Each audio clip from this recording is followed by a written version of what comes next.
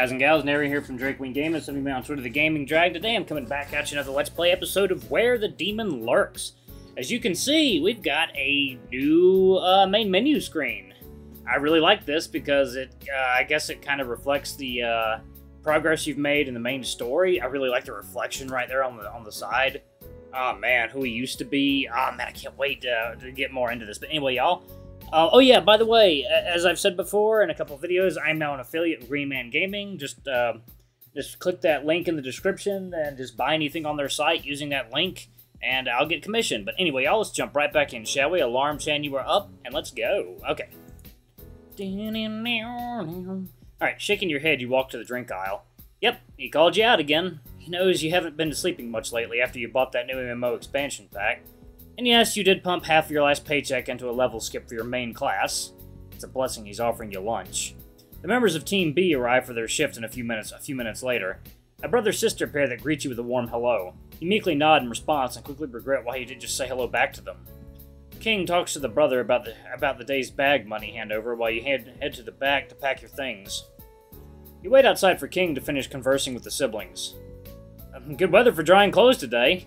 The warm afternoon breeze blows against your mane, wafting the scent of different cooked foods from the plethora of restaurants in front of the convenience store. Your stomach growls audibly. Kept you waiting, huh? The alpaca paces over to you. So, uh, where are we having lunch? At the usual spot? The usual spot it is, then. Lead the way. Both of you walk side by side through the main, through the semi-busy street. Oh. Wow, it is uh, decently busy. Well, I, I wouldn't say busy, that's packed. Wow. Somewhere in Japan, I think. The daily workforce are out for their lunch. You walk by without so much as a glance at, and glance at both of you.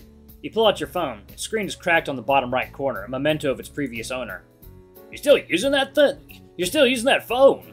Yeah, it works. I thought you'd have uh, ha had saved enough money for a new one already. I could have, but it just feels right to keep this one. Makes me think I should have given you a better phone. With your college fees? It's fine. This was the best you could afford. Ha! True. So, how are things back in the shop? The brother looked like he had uh, the brother looked like he had much to say. One second, y'all. What is this? Uh, five-digit verification code. Oh, one second, y'all. Parents are trying to buy Netflix and Disney Plus, and they would like to. Well, they're trying to get Disney Plus, and they're going to be paying me for it because it's on my account. So, uh, here we go. All right. Down, down, down, down, down, down. I'll be right back. Hey, y'all. Sorry about that. I'm back. Okay. All right. Where were we? All right. So, how are things back in the shop? The brother looked like he had much to say. Brother? He has a name, you know. Now, don't tell me you forgot it. Uh, maybe I should do a lighter voice for him. Brother? He has a name, you know. Don't tell me you forgot it. The only names I need to know are yours and the other NPCs in my game. That kind of attitude? How do you expect to be a manager someday? I never said I wanted to be a manager. Now come on, his name. I want to say Michael. It's Mike, and he's doing well. And he has a sister, Anna. The alpaca leans in close to your face and raises his voice to emphasize her name. They really appreciate us taking their shifts so they can take care of their sick grandma. Is she getting better? Mm-hmm. They say her health is improving, and as a show of thanks, if we ever need if we ever needed them to cover our shifts, they'll do it, no questions asked. Great. Then we can have then we can have them take one of the one day of our shifts so we can have an all-night game session like last time. Divine Destiny? Oh god. Divine Destiny 14? Hell yeah! It's been a month since I've even touched it. I've been swamped with classes. You see the video I sent on you how to take the, down the Underworld Underworld Overlord boss? I skimmed through it. How can you skim through that? It's a half an hour battle that requires a full team of proper strategizing. King crosses his arms in a huff and raises an eyebrow at you. Don't forget your fleece in a don't get your fleece in a bunch. There's tons of other stuff we can do, like dungeon daily, like dungeons dailies. Plus, you plus you know maybe the Overlord is not such a bad guy. Who are we to judge? The of stares at you've dumbfounded. You must be the dullest adventurer ever, and you're a walking rainbow lollipop. Honey, I wish you could have a lick of this. He flicks his brightly colored pompadour and bats his long, lush, long, lush lashes at you. I like your fleece back to its natural color. He slaps you slightly on the lightly on the shoulder, and you both burst out in laughter. You both continue walking to the park through the winding roads that have come to define this town. Even though you've been here for over a year, you can get lost when you need to go somewhere you've rarely been. Your experience is a testament to the legends about how the town was built, built based on a maze-like structure to confuse demons and evil spirits from finding their victims. Makes it hard for, for even a demon like yourself to find a public restroom. After 20 minutes of turning from one street to the next, you both reach an intersection across the park.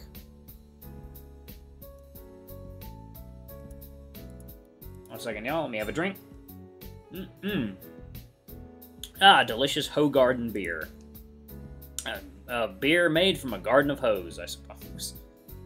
Oh crap, it's those guys! Buzzing around the main entrance are a group comprised of six goons dressed in matching black hoodies. They're peddling pamphlets and asking people passing by to sign some petition. We should go around, take the side entrance. But our spot is closest to the main entrance. I know, but that group always gives me a bad feeling. Maybe it's best if we avoid them. Hmm. Fine. Let's go. You both cross the street and head for the head for the walkway to the right of the main entrance. Making a beeline, you slip through unnoticed by the group guarding the gate. The stealth game has begun. The side entrance to the park is within your view. This is it. We're almost there. Then a pair of hooded figures step out from the entrance to halt your way. Why, hello there, fellow townsfolk of Kibbleton! Fuck! Your right hand instinctively moves over to cover King. We don't want anything that you're selling. But we're not selling anything. But we're not selling anything. In fact, we're giving away a great opportunity to find happiness. A chance to be free. A chance to take control of your own destiny. Sure, sure, thank you, but I'm fine with my destiny. Now, please move aside.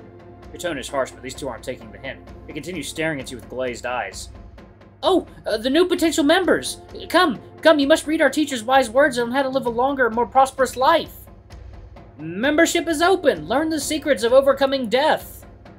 Three more of them emerge from the park entrance and surround you both. Kobu! They invade your personal space and physically stampede towards you. Three new hooded members manage to split you and King apart. He's dragged a few steps away as they corner him against the wall.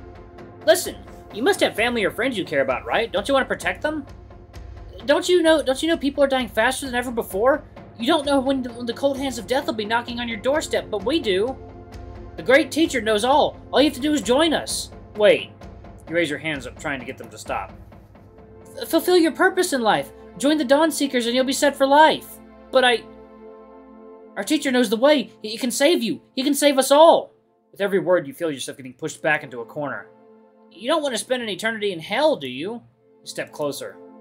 Save your soul. This is the only chance. And closer. New members get a brand new air fryer. An air fryer that comes in five different color options. Embrace destiny and a healthier lifestyle. Ah, their voices seem to crescendo as they go on and on about their group. You're trapped. You struggle to think as every thought is cut out is cut off by their continuous chatter. Cults are nothing new. Dozens of them arrive in the underworld on a daily basis. Though meeting them in real life is more annoying than having mosquitoes buzzing around your ear on a hot summer afternoon. Annoyed, you turn to where King is. His face is pale, and even his brightly colored fleece seems deflated. He reaches out to sign some kind of document. Stop! Your sudden outburst stuns everybody and everyone nearby effectively silencing the hooded characters who were harassing you. They back away, letting you walk over to King. You yank him by the arm and he stumbles to get walking. We're leaving, and don't any of you bother us again! You pull King harder than you intended and guide him into the park. The hooded people mutter amongst themselves, but you don't hear them. Your sole focus is, is on getting to your spot.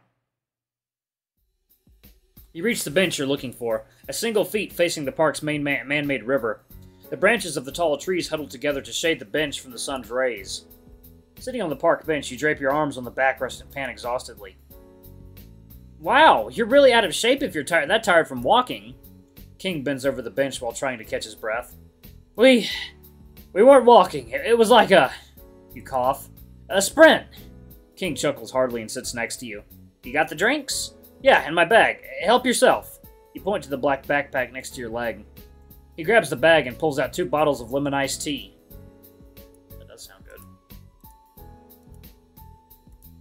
Here! You take a bottle from King and down the, the reinvigorating tea in one big gulp. Slumping back against the bench, you let out a loud gasp as you pull the bottle away from your mouth.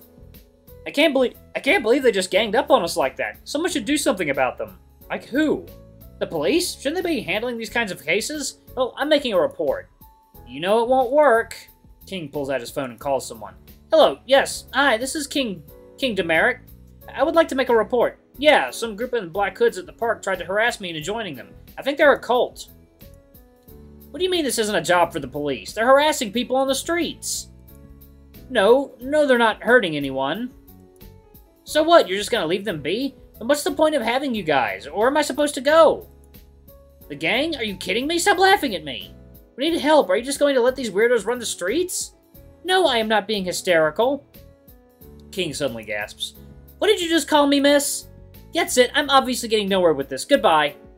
King angrily hangs up and sits next to you in a huff. Told you. What did you expect to happen? The cops here are in the gang's pockets. Those black goods probably work under the radar of the gang. That's why nothing's been done about them. This is so frustrating. He rubs his temples as though trying to rub the memory of the phone call away. Can we maybe just eat and move on? Let's. King grabs his bag and passes a blue Tupperware container to you. He pulls out a matching green container for himself. You open the top and you feel you feel the gentle heat wafting through your fingertips. It's a lunchbox with two compartments. One side has a bed of rice, and the other an assortment of fried chicken on a bed of fresh, crisp salad. It's the Overlord. On top of the rice are some steamed mustard greens and cut carrots arranged in the shape of the Divine Destiny 14 boss. King leans over to look at the lunchbox. Thank God it all stayed in place while we were running. You notice that his eyes are on you now, so you smile warmly. Thanks, man. That is really this is really impressive. Say that say that after you've tried it. You know you haven't beaten the Overlord in game, but at least you can beat him with your stomach. He nudges the side of your belly. You roll your eyes at the alpaca and proceed to dig in. Mmm, this chicken is really juicy and tender. Thanks, I worked hard on seasoning it just right. King's lunchbox is the same as yours, minus the decoration. i trade you my carrot for a piece of chicken? What? No, I put those there for you. Plus, mine's actually tofu, it's not chicken. Plus, mine's actually tofu, it's not chicken. Weakling. The branches sway and rustle as you fill your stomach with the Overlord King prepared. It's so damn sweet. After the meal, you both leave the park when the coast is clear. Journal. King. King's my friend, and I'm forever indebted to him for helping me rebuild my life after the event. He's sweet, has a talent for cooking, and cares a whole lot. He's arguably the nicest soul I've ever met. Even after I found my own place, he still checks up on me, and I appreciate that. I wish I could repay him somehow for all his generosity. I can't imagine what would have happened if I didn't run into him that day. After the meal, you both leave the park when the coast is clear. By the time you both by the time you part ways with King, the sun has begun to set. With nothing better to do around town, you return to your apartment. Your apartment building is tucked into a far a far away corner of the town, as though as though it wished no one would find it. An odd dissonance fills you whenever you return to this part of the town. In contrast to the rest of the town, this place is devoid of businesses, or life for that matter. A dead end is one way to put it. Not that you're complaining. You walk up the flight of stairs to the first floor, where your room is. Screeching of a singing contest on the TV from the room below accompanies your climb. A typical apartment owner, an elderly man of few words. He is content. He is content as long as you pay your rent on time and doesn't stir up any trouble. Your key fits into the doorknob and you enter your room. Honey, I'm home. The silence of your mildly furnished apartment welcomes you back. Your current living arrangements are a far cry from what you had back in the underworld. The current unit you live in has very basic accommodations. One living room that doubles as your bedroom and dining room. One washroom with a shower head that only sprays cold water, a washing machine, and a toilet next to it. There's a tight spaced kitchen that just barely accommodates you and the relic of a refrigerator. And yet, this is all you could ever ask for. Dropping your bag on the floor, you walk over to the beanbag in front of the TV to start up your console. I should probably do my laundry while I shower later, but first, let's squeeze in one round of dailies. That's the last thing you. That's the last. That's the last. That's the last you think of your laundry, or chores for that matter, for the rest of the day. Yeah, bananas! Oh god. A portal, a portal tears open within the, within the break room of the demon generals. Fortis stumbles out of the portal with shaky steps, drained of energy. He props himself up against the nearby doorframe in defiance of the gravity pushing him towards the floor. The weight of three months of non-stop work is visibly chipped away at the demon's strength. Fortis steadies himself. Get! He slaps himself. It! He slaps himself again. Together! Come on, if you're down, the staff won't work. Got to keep the energy up. Just get your coffee and get back to the torture onto the torture floor. After psyching himself up, he briskly enters the pantry. The dust lingering in the air chokes Fortis. The pantry is hardly used these days, to say the least. Fortis walks over to the countertop, picking up his red mug. His other fellow generals' allies' cups have remained untouched ever since Vendrake's coup. He bends down to get the instant coffee from the lower cabinet, but notices a translucent hand sticking out of the side. It's one of Amir's extra appendages. Wait, if he's hiding in there, what th that means he shouldn't be here. He devises a plan to make the general reveal himself willingly. Fortis walks over to the nearby fridge and pulls out a bottle of lemon soda. On the side of the bottle is the note that reads, Property of Amir. Hmm. This fridge is full. I should probably throw some stuff out like this bottle of soda that nobody ever drinks. No! Fahrenheit! He knocks his head against the ceiling of the cabinet while trying to come out of it. Pulling himself Fahrenheit? Really? Pulling himself up, he walks over to Fortis, one of his extra limbs rubbing his, smooth, his head to soothe the pain. Amir snatches the bottle from Fortis and hisses at him. Can't you see whose name is on the bottle? Whoa, whoa, calm down here, kitty. I was just joking.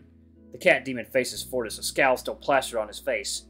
What were you doing down there? Looking for inspiration for the new project Vendrake has got you on?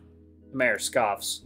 As if. I just needed some place where some place where Vendrake's goons can't find me. They keep hovering over me while I work. And how'd you get here? Easy. I painted my face on a sack of bolts and played a tape of me knocking metal. You're kidding. Amir raises an eyebrow at Fortis. Oh, well, you better get back soon. They'll cause trouble again if they find out you're missing. Not until I come up with some new idea to take Vendrake down. Fortis lets out an exhausted sigh. This wasn't this isn't the first time the scientists have been plotting against their new leader. Somehow just just knowing that Amir is still adamant about fighting back stings Fortis's heart. You seen the coffee? Here. He pulls the bottle of instant coffee from his belt from his belt and passes it passes it to Fortis. Don't use it all. It's one of the key catalysts for the weapon I'm building. Fortis keeps quiet and turns to the coffee maker. He pours the instant mix into the machine and turns it on. The grumbling of the device reverberates through the pantry. Amir. He turns to his companion, unable to match his facade, unable to maintain his facade that everything is fine. Don't you think it'll be easier if you just, I don't know, just do what Vendrake says? Oh no, don't tell me you're taking a side. That's not what I mean. You didn't forget what happened last time you tried to launch a rebellion against Vendrake, did you? Don't you dare accuse me of forgetting. I watched every demon that went through this through his new re-education program. Their lives got sucked out of their eyeballs because of those non-stop reruns of the HR training video. By the end, they were practically empty husks of themselves. Then why are you still doing this? Because I'm doing what's right. Kobu is out there and he's the demon lord, not Vendrake. We need to fight back or we'll turn this whole company to a new hell for demons. You're supposed to be helping me. Fortis clenches his fists. Amir's questioning begins to fade as the sound of his pounding heart is all that reaches his ears. He quivers during his response. I can't! I'm sorry, I can't! Alright, y'all, I'm going to go ahead and pause it right here. Thank you all so much for watching. Don't forget to like, comment, subscribe, ring that notification bell. Leave a super thanks. Your tip if you can, it always helps. Until the next video, I love you all. I'll see you next time. Bye-bye!